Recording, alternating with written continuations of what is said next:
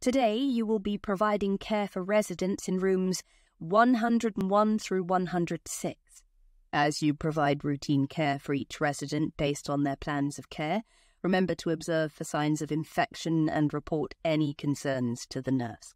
Each resident is unique in their needs and preferences, so be sure to review their plans of care.